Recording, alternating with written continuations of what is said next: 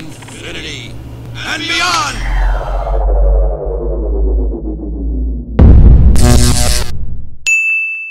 Welcome to the Grok Shop in part one in my series, the Kodi Compendium. In this video, I'll be talking about Kodi. I'll do a little quick demo and uh, talk about the network setup, as well as talk about what Kodi really is good for and perhaps what it's not so good for.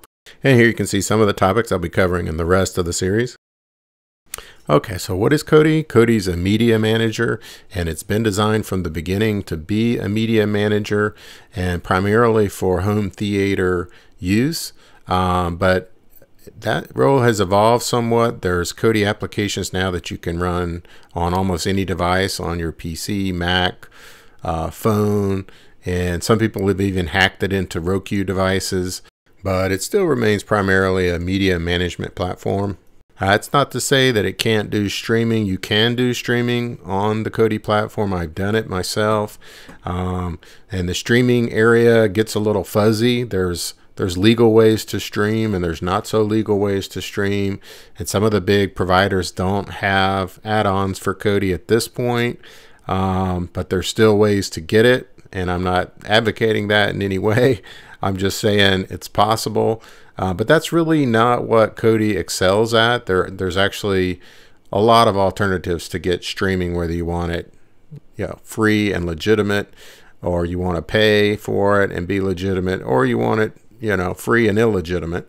There's other ways um, that you can do that that may be better suited than Kodi itself. Um, however, sometimes it's nice to have everything all rolled up into one box. I'll be covering streaming in more detail later on in this series. So I put together this diagram for you guys to show kind of a typical modern home theater setup. And as you can see there in the right uh, middle where the arrow's pointing, there's a little Kodi box. And um, next to that, you'll see a Roku box and uh, they both go feed into the uh, AV receiver, which feeds into the TV and speaker system, of course. And on the back end, um, in this particular setup, I show a NAS or a large file server and uh, database, which Kodi connects to. So um, you can have multiple Kodi devices throughout your house, all hooked up to the same uh, media. So everybody can share the same content. You can actually set it up to stop in one room and pick up in another room. Um, there's a lot, a lot of things that you can do uh, having uh, all the media in one location. But of course, with the streaming device, the Roku device, it bypasses that and just hooks up um, directly to the internet. In case it's not obvious, guys, the dark lines with the solid balls on the end, those represent HDMI cables. And the thinner lines with the hollow balls at the end, those represent network connections. So Ethernet or wireless connections. So clearly for some people, Kodi won't be for them. If you're not housing your own media collection, if you're not into that, you want to stream everything, I wouldn't even bother thinking about Kodi. But to me, I like I like having my own media. I like having my own music library um, that's always available. I don't have to pay for it. I don't have to pay a subscription to get to it, and um, that's just how I like to roll. And there's really not a single better um, way to organize your home media than Kodi, and it's free. The only thing is it's very configurable and it's you can get overwhelmed if you start digging in very deep, which is part of the reason why I made this series. Um, I'm going to try to show you know what you can do at a high level, and then for those that are interested, I'll do some deep dives as well. So you can see I've organized my Kodi into top level or home menu groups so that, for example, I can get to all my surf movies right from the very top or all of my animated features right from the very top. Um, it's always possible to drill down and get to whatever you need when you drill down, but sometimes having it at the very top level is mighty convenient. Of course, I'll be showing how to do that later in the series. So besides organizing your media, you can also decorate it with Kodi. And um, if you configure it properly, you can have it download what's called fan art, which is basically a bunch of images related to your media.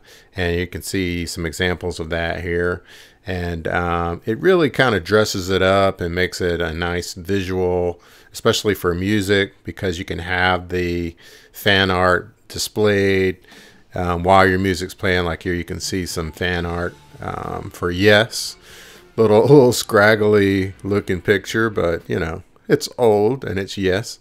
But um, it's it's something that can be a little tricky to get configured right, and that's uh, a topic I'll for sure be covering in a lot of detail. And it's changing all the time with every new release of Kodi there's um, new approaches to getting the fan art and the thumbnails done right. And um, I'll be covering that and um, hope you guys get something out of that part of it. There's definitely a lot to learn there. Now, before you can even really get started with the fan art within Kodi, you want to get your media library organized. And if you're like me, you know, thousands of songs, hundreds of movies, um, I've got a lot of stuff on disk I haven't even ripped yet, and tons of stuff I need to procure still, new versions, higher resolution.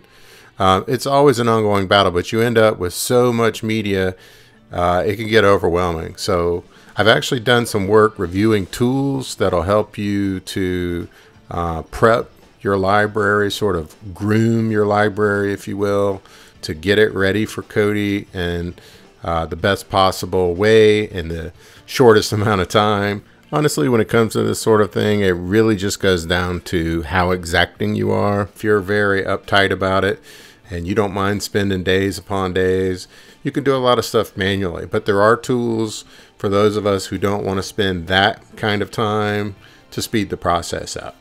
And as you might have guessed, I'll be covering this topic in a lot more detail later on in the series. Now, back over in the column of things that Kodi's not necessarily so great at would be personal media. So, pictures and movies from your phones and cameras. Um, and I don't know why, but they've just decided not to make it a priority thus far. Um, I wish that they would give it a little more priority. Um, and I think eventually they will. And, um, and that'll be a good thing. But until that day happens, I really can't recommend Kodi as a personal media organizer for your own media.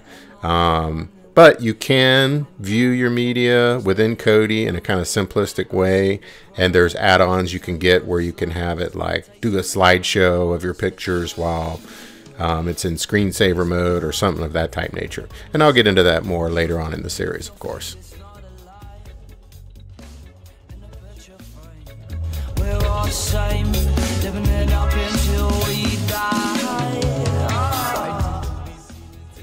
One of my favorite features that is built right into Kodi is their smart playlists, and they have this one called Party Mode that um, you just basically turn it on and it randomly selects music, and you can actually customize the music that comes on during Party Mode. It's basically just another playlist like any other, and um, this thing is uh, an awesome way to um, just hit a button and randomly get music as opposed to going out and you know you know you want you know you want to hear this artist or that artist. Sometimes like you forget what's in your library and you just you just need to randomize it a little bit. Other times you're like uh, now i remember why i wasn't listening to that song but um, either way it's a nice feature that's built right in and i'll get into the playlists, smart playlists, and regular playlists, including how to um, control the party mode playlist later on in the series, of course. One last feature I wanted to mention before I rolled out that's really awesome about Kodi is the built-in skin system. Um, anybody who knows Kodi at all knows about this, but if you don't know Kodi, um, the skin system is just a real easy, slick way to change the look and feel of Kodi with no effort at all. You just basically look up the skin and tell it to change to this skin and you get a whole new look and feel. And then, of course, you can customize most skins to different levels, different degrees of customization are um, built into different skins, and they're by and large built by the community of devs who support Kodi. And um, there's some really cool stuff out there. And of course, I'll be going through a few different skins and the pros and cons of the different skins and uh, how compatible they are with say low end um, processors that you don't want to overload with you know a lot of um, bloatware or something. So of course i'll be getting into that later in the series a little bit more detail and um, showing you um, some of those so that does it for part one, guys. I hope it's been helpful for those of you who needed an intro. We'll see you guys in the future parts of the series. If you have anything in particular you want to see about Kodi, be sure to let me know. That's how it's done. Thanks for watching.